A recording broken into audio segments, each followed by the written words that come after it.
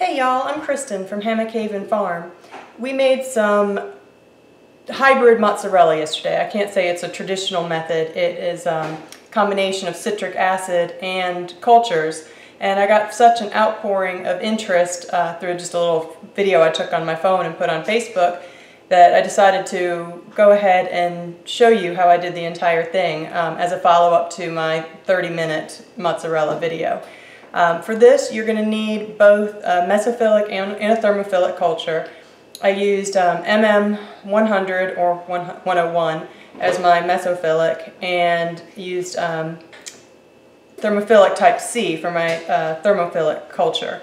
Uh, the recipe for this book, or recipe for this, is out of the book um, Mastering Artisan Cheese Making, and it's the uh, hybrid mozzarella type cheese. You're to need uh, four gallons of milk for this, and we're going to divide it up into two batches. So you need two pots. You're going to need um, one that'll hold up to four gallons and one that's going to hold two gallons. I've got all of my equipment sterilized here. I'm going to put my first two gallons of milk into the bigger pot. Um, this is going to receive the culture. Um, so let me add that in here. We're going to heat it up to 96 degrees and then we'll add the culture to it. Now I'm going to add the cultures. I've got this up to 96 degrees. As always, I turn the heat off a couple of degrees before it reaches that. Um, it calls for a quarter teaspoon each of the mesophilic. So my, I know my milk usually acidifies faster being raw milk, so I'm going to do a scant quarter teaspoon of this MM100.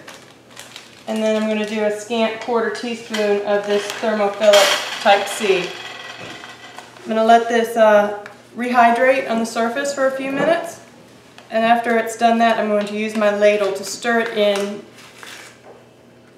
thoroughly for a couple of minute or so. Um, once I have stirred the culture in, I'm going to let this ripen for 45 minutes and then we'll get started on the other pot. Okay. Our first pot with the culture has been ripening for about 45 minutes now. Now it's time to add the citric acid to our other two gallons of milk. I'm going to use two teaspoons of citric acid, and I just got this at the health food store.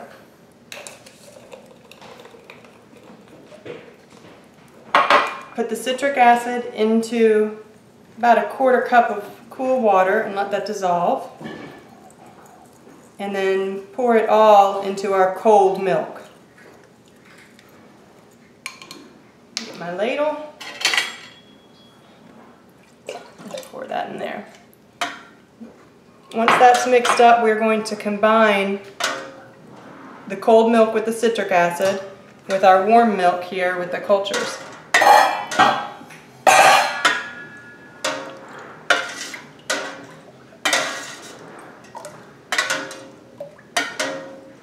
Alright. Pour this together.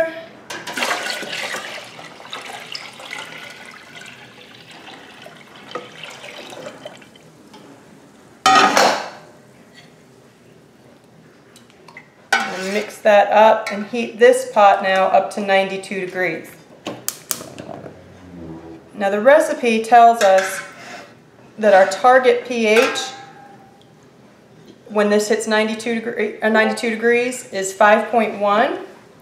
Um, the other day when I made this, I have a pH meter and I checked the recipe and it was actually 5.0 at this stage. Um, so I just took some more fresh milk and added it to this and kept the temperature back up to 92 until my pH was showing 5.1. I don't know what kind of difference that would make. So I'm just going to get this to temperature and then we'll, we'll check our pH and rennet this.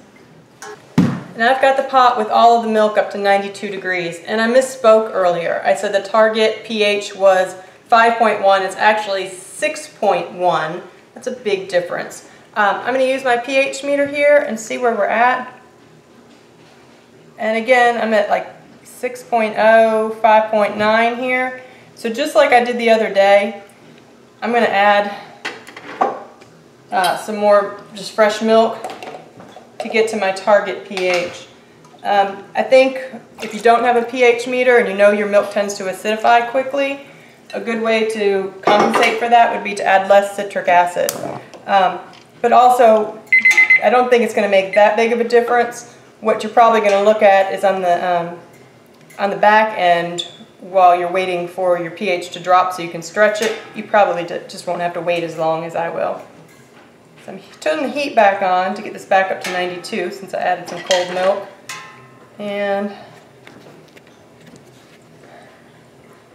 we still acidified quickly here. We're at 5.9. I'm going to go ahead and add the rest of this half gallon.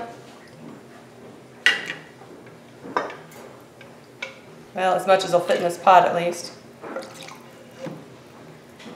See where we are.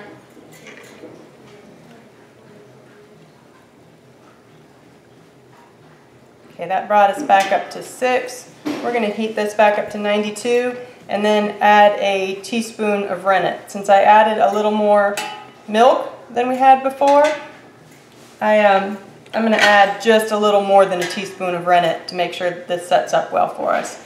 So like always with your rennet, add your rennet to about a quarter cup of cool water before mixing it into the milk. So we will be back after this is time to set up. Um, once we add the rennet, let me see how many minutes we need. You let it set up for 30 minutes. So we'll see you after we add the rennet and let this set for 30 minutes. It's been 30 minutes with the rennet now and you see we've got a nice firm curd going on here. It's got some cracks in it, it's pulling away from the edges. Excuse the background noise here today, it's kind of Grand Central, but I wanted to make sure that I got this video for you before my cameraman and producer and editor left for camp. So we're kind of in a crunch to get this done. What I'm doing now is cutting these curds into one centimeter cubes. I'm going to do a cut each way vertically and then I'm going to use my ladle to cut it horizontally.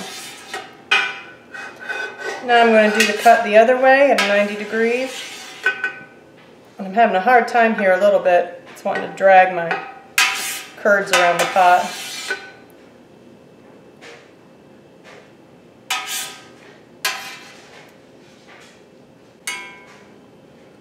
Alright, now I'm going to use my ladle to make the horizontal cuts.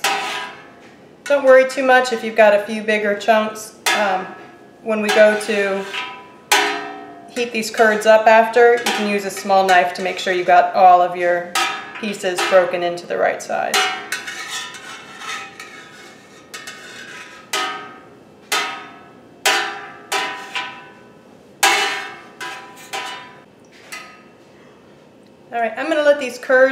For five minutes now to uh, get a little solid and then we'll start heating them up.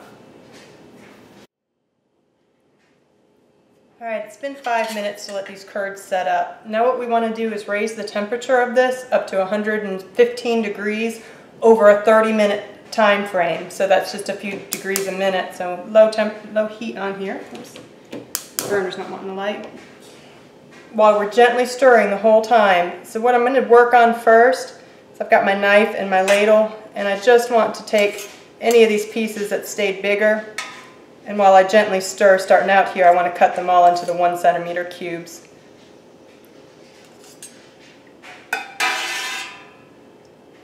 So again 30 minutes to get to 115 degrees.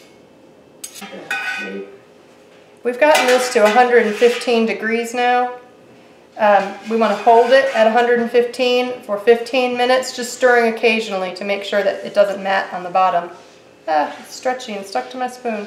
Um, so I'll just stir it every couple of minutes to make sure it's not matting, and we'll see you in 15 minutes.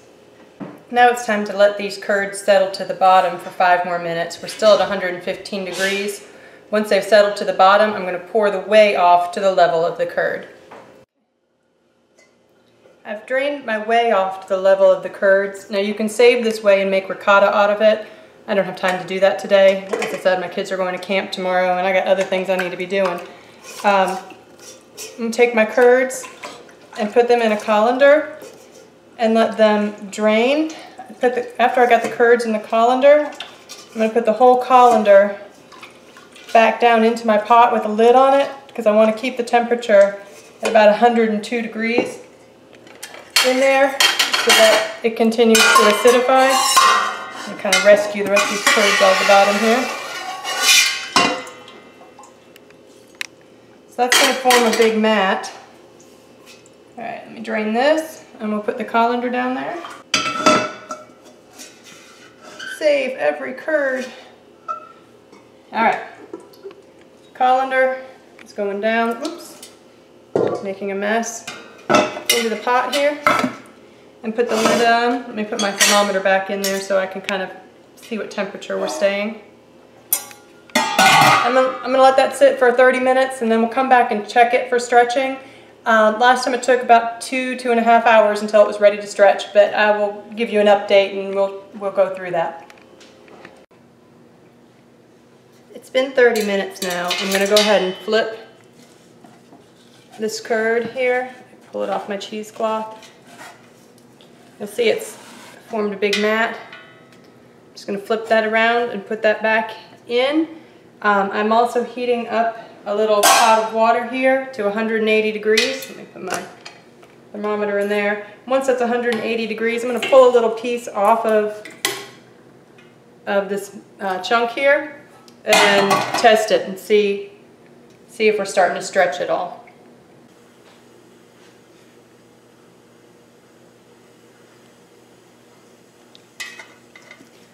Let's pull a little piece off of this curd.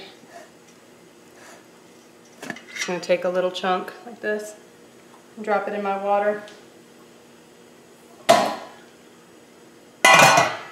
It's only been half an hour. Like I said yesterday, this took me, oh, seems like two, two and a half hours. But I'm just, I'm waiting for it to soften in my water here.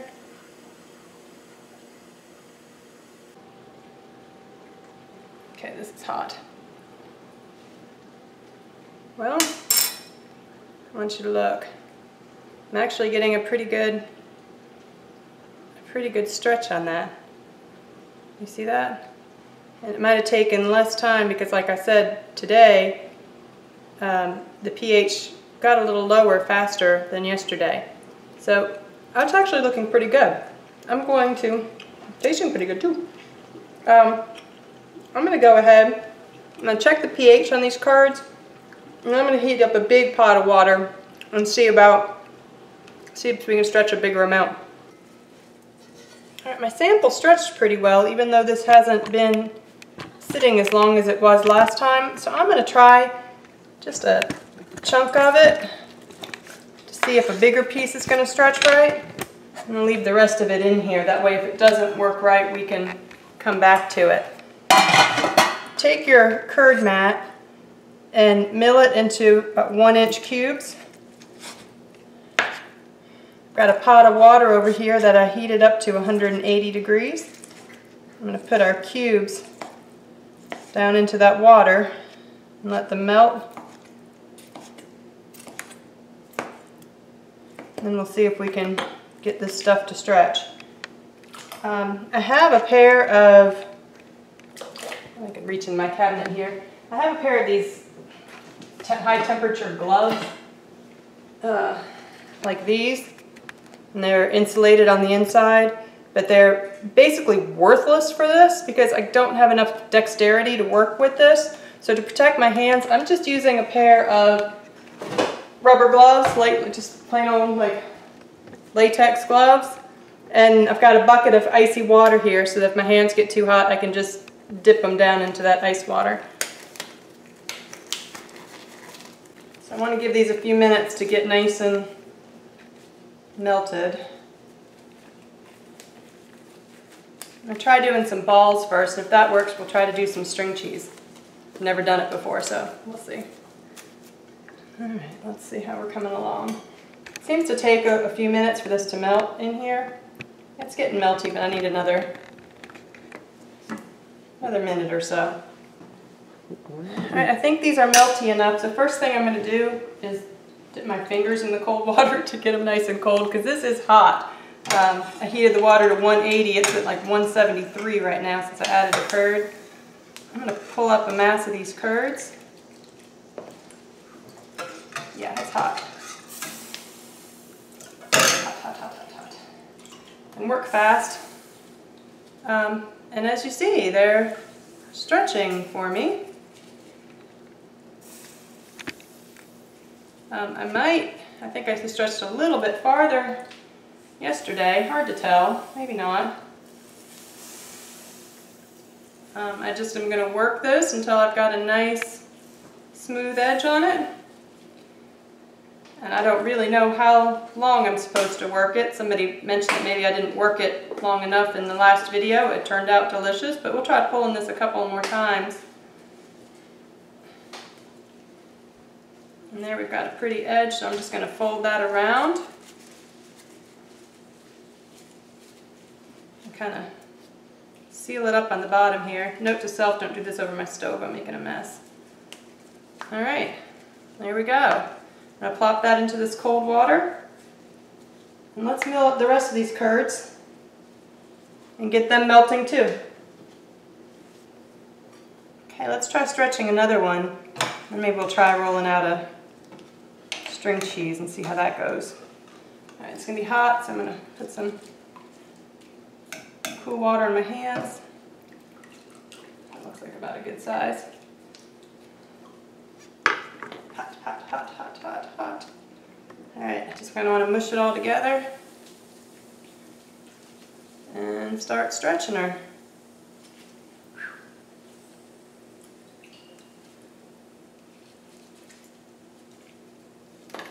If I had a bigger chunk, I could probably stretch it farther. It's also harder to work with a big chunk.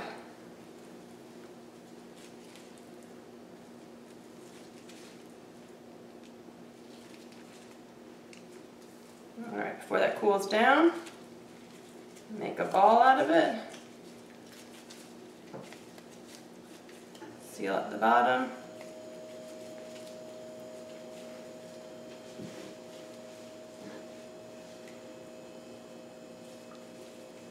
dunk it in my water. Let's try a string cheese and see how that works.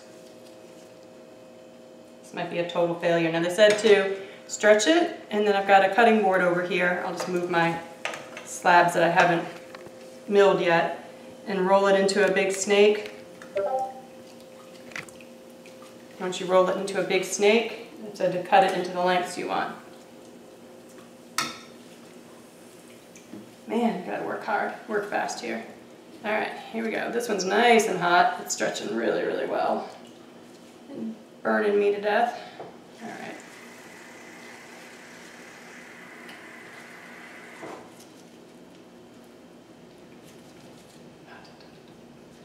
I'm stretch this over my cool water bowl so I'm not totally killing myself. All right, let's get it nice and long. Let's try to roll it into a snake now. And move these slabs aside.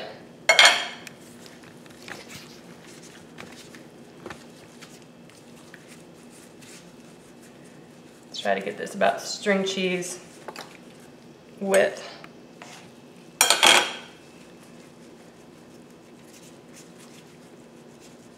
Maybe I'll make three string cheeses per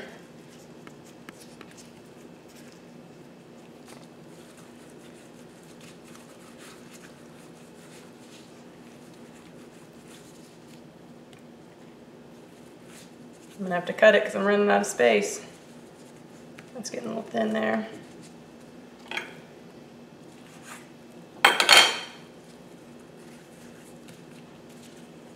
Hmm, this is going to be interesting because it wants to flatten on the side where it's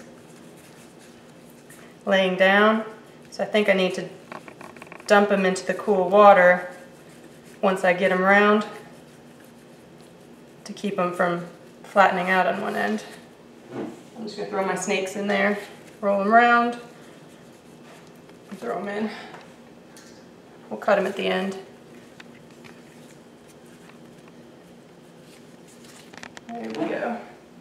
All right, let's get, show you one more here. I've got some more curds stuck down in here. Yeah, I think I do. Uh, nope, not enough. Oh yeah, I do. There we go.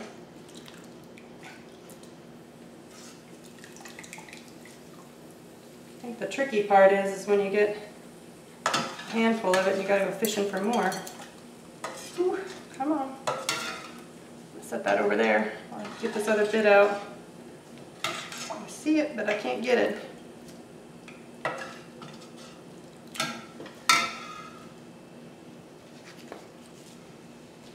You might be getting tired of watching me stretch. I don't really get tired of doing it though.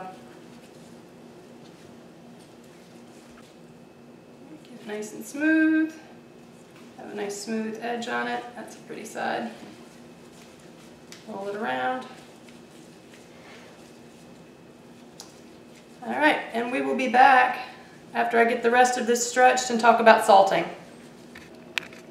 I left these in ice water to cool for a little while. Now they're cooled down and it's time to brine them. Um, I made this up the other day and I just saved the brine instead of dumping it out. It is half a gallon of water mixed with 13 ounces of kosher salt for a heavy brine. And I brined them last night for about two, three hours. Um, these balls are going to need closer to the three hours. The uh, string cheeses, since they don't have as much volume to them, aren't going to need that much, and I don't want them to get too salty. So I'm going to dump these in here, and I'm to check the um, I'm going to check the string cheeses after, I don't know, an hour or so and see if they're salty enough for us. But I don't like to have to throw away that much salt every time, so if you keep your brine in the refrigerator, you can reuse it. Sometimes you might have to add a little more salt to it just to get the uh, salinity back up. All right, let's let those brine and we'll come back and cut one, see how it worked out. One, we've got one out of the brine and this is actually one from yesterday. I'm cheating a little bit. But you see, it's just beautiful texture. Absolutely delicious. And this is one of my string cheeses. And look, it's like real string cheese. Your kids are gonna love it. So, chew and swallow. And that's how I managed to get goat milk to turn into beautiful mozzarella. I hope it works out for you. Bye.